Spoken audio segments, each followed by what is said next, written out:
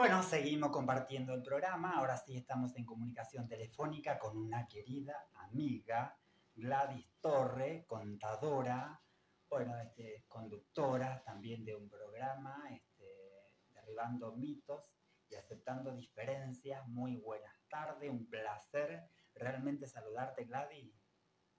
Muy buenas tardes, querido amigo Clemente. Para mí es un honor, como siempre, participar de tu programa, que me, toca hablar de, de, cuestiones tan interesantes como es la inclusión de los, del sector más, eh, digamos, vulnerable de la sociedad. Claro, exacto.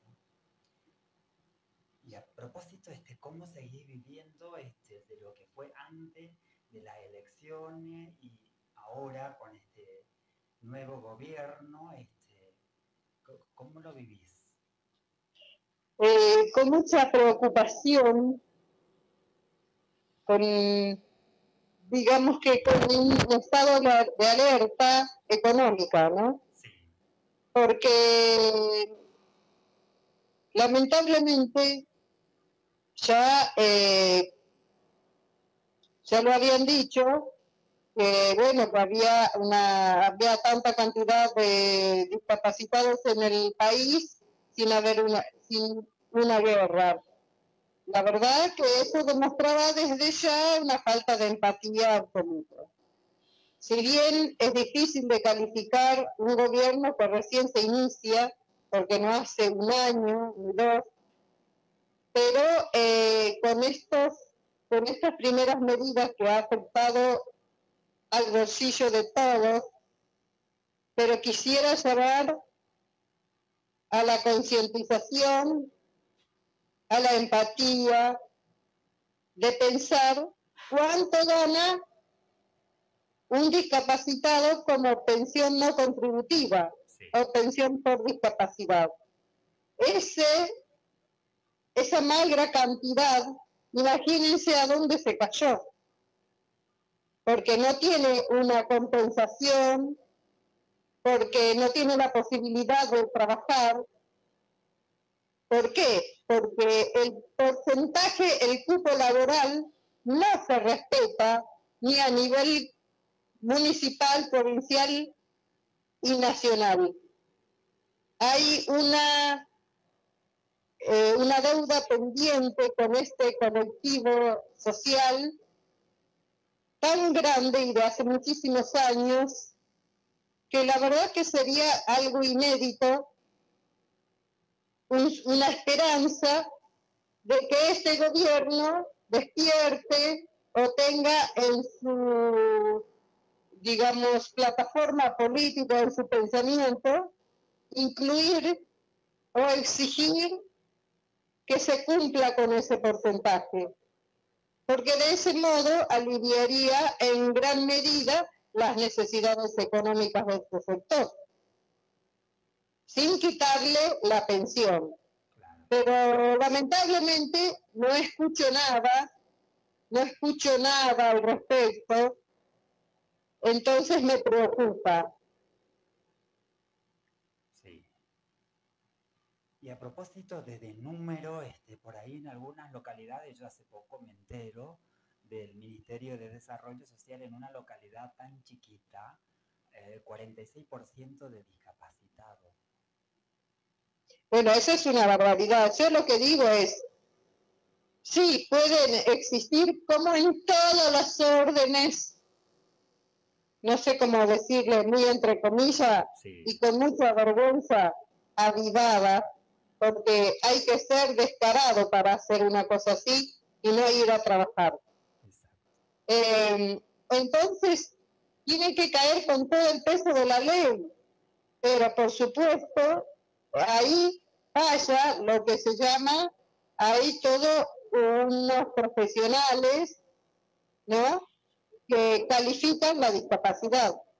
O sea que no es, no es que cada uno se considera discapacitado y ya le dan el certificado único de discapacidad, el CUD. Para eso tiene que ir a una junta médica Entonces estaríamos hablando una corrupción no solo de los que se avivan, entre comillas, sino que también de la Junta Médica que se lo, se lo entrega, ¿no es cierto? Es una vergüenza doblemente, eh, un delito doblemente flagrante, ¿cómo se dice? Flagrante. Sí. No, eh, digamos que un delito doblemente calificado, llamémoslo así. Porque no es solamente la persona, sino la Junta Médica también. Claro, porque aparte también hay muchas personas que realmente necesitan y sin embargo no lo están cobrando. Exactamente, hay muchas personas, mucha gente que lo necesita y generalmente eh, las personas muy humildes no llegan a acceder a las pensiones. Entonces se les hace muy, muy complejo afrontar todas las necesidades a nivel económico, no solamente eh, en, la, la, parte médica, que es multidisciplinario, porque afrontar las dificultades de la discapacidad es multidisciplinario en muchos casos, eh, sino también el transporte, el traslado, es todo una cuestión muy compleja que no se puede eh, descalificar o calificar así alegremente. Hay que nombrar o enviar un, un grupo de profesionales para verificar la existencia de la discapacidad. Y no como ya se hizo una vez, se agarró un listado entonces eh, se, lo, se lo borró así de una, no importa si era real, si no era real, si perjudicaba o no. No de esa manera. Claro, exactamente. Y en tu caso, este, el tema de, los cupos este, tampoco este, fue incluido ¿no? en, esta, en esta campaña, creo que, habíamos hablado. Este, que la persona que, tienen problemas de discapacidad no estaban incluidos en, ningún cupo este, de lo que tenga que ver este, con, la boleta de, de los candidatos. Claro, totalmente. Eh, yo creo que a nivel social todavía hay una deuda pendiente gigante en este tema porque hablar de igualdad de oportunidades implica también a nivel político y sindical. Eh, yo no veo ningún sindicato a alguien con discapacidad. No veo mujeres en los altos estratos del sindicalismo y menos voy a ver, lamentablemente, personas con discapacidad. Eh, esa es una deuda que tiene la misma sociedad con este colectivo, ¿no es cierto? Y yo espero, eh, le deseo lo mejor al presidente Giloy, le deseo lo mejor, porque si le va bien a él, nos va bien a nosotros, como pueblo y como país. No puede esperar algo malo porque sería, eh, digamos, ir contra, contra todo un país que, que, que eligió eh, digamos, correctamente su, decisión, fue la decisión de la mayoría. Pero sí le pediría que tengan buenos asesores en este, en este tema. Porque generalmente eh, no le dan importancia y estamos hablando de millones de personas. Porque es, lamentablemente, y ojalá que así no sea, pero la realidad nos indica que somos millones y que incluso la pandemia dejó personas con discapacidad. Entonces, eh, es importantísimo que tenga buenos asesores, no gente que solamente haya aprendido porque fue a Wikipedia, porque leyó en Google, leyó un libro, o porque sea parte de la amistad de ellos y pone una gente que no conoce del tema. La verdad que me encantaría que esté bien asesorado y que las medidas económicas que adopte para la población tenga en cuenta que este sector es el más débil y entonces el hilo nunca puede cortarse por el más débil, ¿no es cierto? Entonces, eh, hay que considerar las consecuencias de las medidas sobre este colectivo social. Claro, exacto. Y con lo que tenga que ver con la sociedad, este, ¿seguimos evolucionando o volvimos a involucionar con lo que tenga que ver este, con, la persona común, digamos, con la sociedad, hacia las personas que sufren este problema de discapacidad? Desde que con esto no quiero, no es una orientación personal política, pero desde que alguien habló en campaña sobre la discapacidad, eso fue una evolución, realmente, porque no lo había escuchado. Sí, siempre escucho demostraciones, siempre escucho críticas, pero últimamente venía escuchando inclusión, pero real, en medidas reales, como la, la compatibilidad del trabajo con las pensiones, de un trabajo en blanco con las pensiones. Entonces, eso es importante, eso es evolución. Ahora bien, si se adoptan medidas económicas tan drásticas, cuando el ajuste lo empieza a pagar el que menos tiene, el que menos puede, y y uno ve que los legisladores no se tocan ni un peso de su sueldo, no eh, tienen esos autos gratis en que se movilizan los choferes, combustible gratis, eh, el, tema de, los pasajes eh, por desarraigo, creo que todavía se mantiene eso esto, el, desarraigo se, se, pagaba cuando se venía en carreta de Jujuy, Salta o de cualquier otro lado, entonces se hacía muy cuesta arriba llegar a Buenos Aires. En este momento ya no es igual. Entonces, ¿por qué se sigue pagando desarraigo? Entonces, cuando la pirámide de, de vuelta y el pueblo deje de ser el elemento de ajuste para que también aunque no mueva mucho el anterímetro, como dicen ellos, para autojustificarse y empiecen a bajar sus enormes sueldos cuando ya no exista jubilaciones de privilegio y alguien se ponga delante de los demás y hable de ajustes necesarios.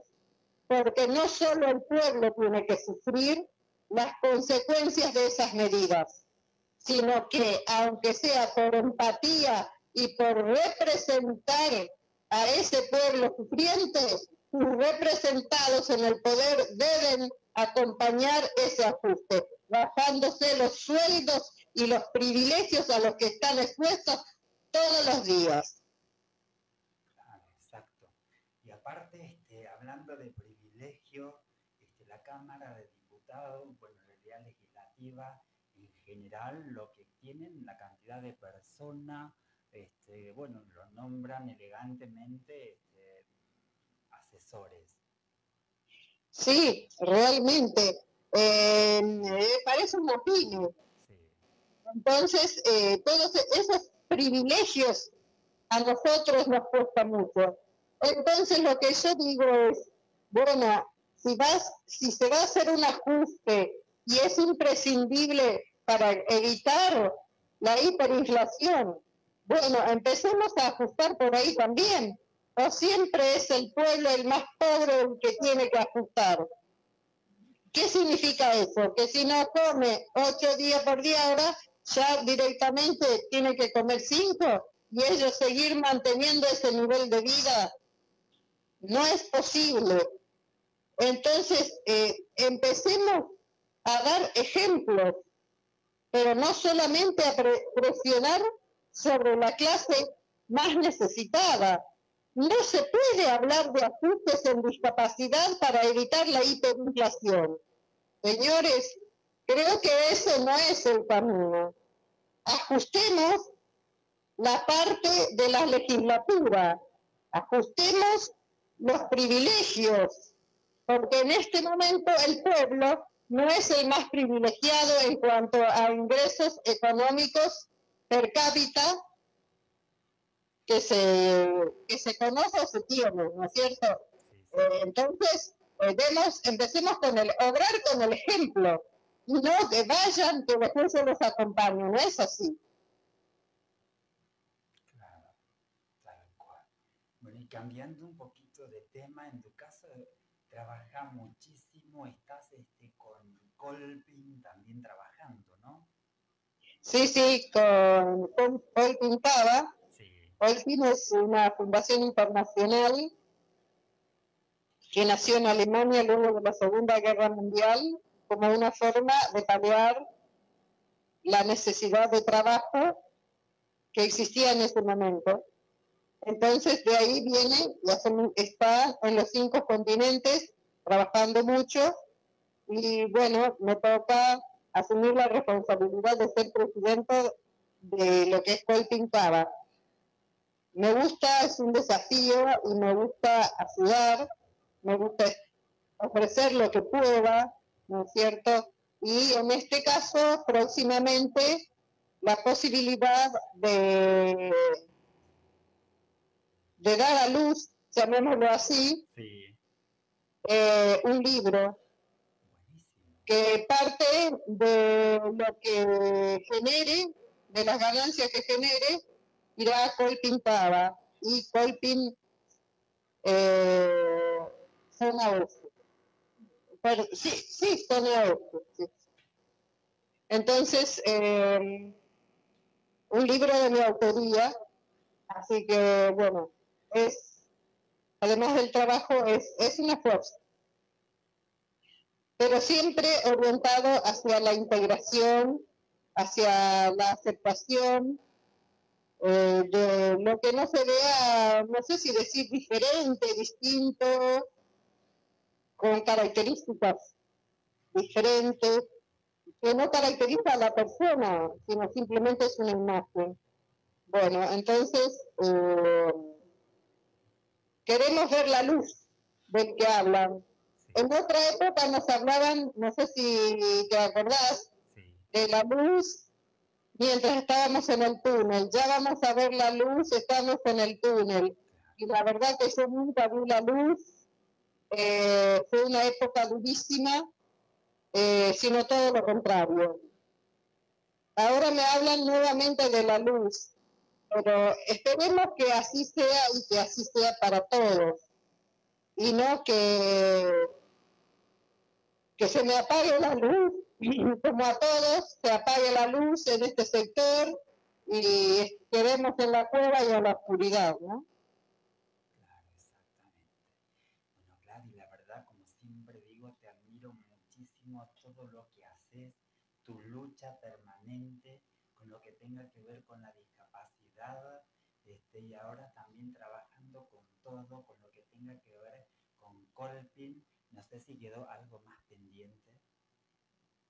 Y me gustaría, me gustaría hablarte, en la, calculo que en la próxima, cuando regreses, eh, ya el libro estará a la venta y podremos hablar de qué se trata, a qué se refiere, eh, a qué apunta.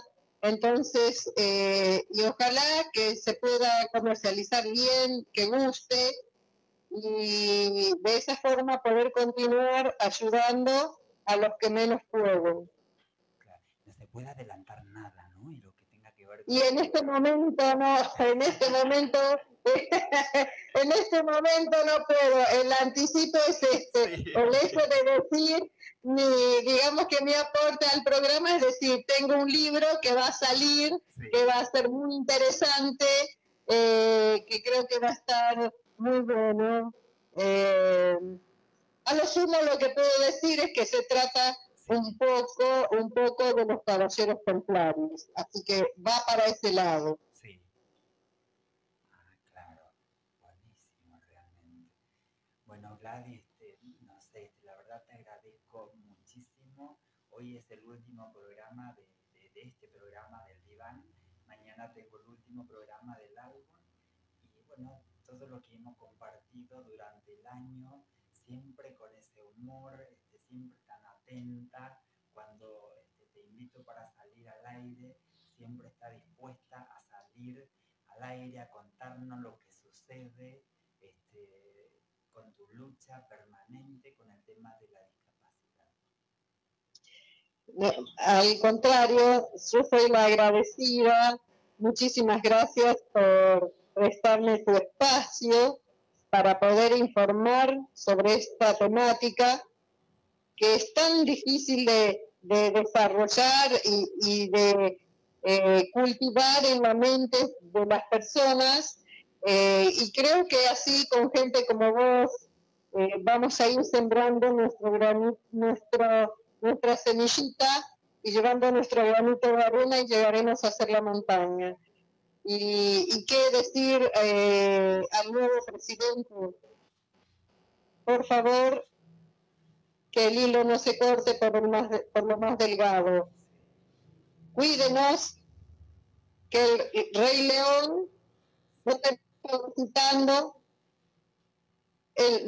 fagocitándonos en la selva, que como él muestra que sea el que proteja y basta de privilegios, pero que se vea en la realidad, no en el discurso, y que se proteja este sector porque el ajuste no se puede llevar a cabo sobre la discapacidad. No al ajuste en discapacidad, señor presidente. Y a vos, muchísimas gracias por esta oportunidad que me da siempre de hablar sobre esta temática. Muchas gracias y que tu programa en el próximo año continúe siendo el gran todo un éxito amiga. Este, Dios mediante, este, vamos a estar en contacto el año que viene, este, durante todo el año, también como lo veníamos haciendo en este 2023.